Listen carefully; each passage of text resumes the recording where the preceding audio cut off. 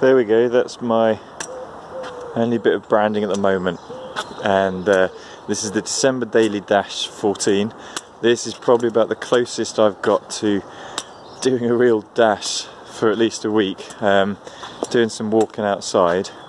Um, and so far it's going well. I'm not going to make 5k, but um, probably half a k, something like that.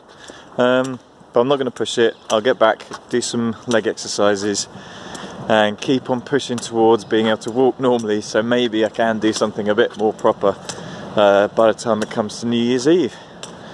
Luckily, it's not raining. And it's not too cold. Good luck to the rest of you dashers.